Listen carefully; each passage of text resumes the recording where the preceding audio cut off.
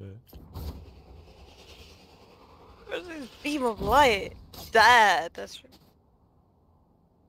true.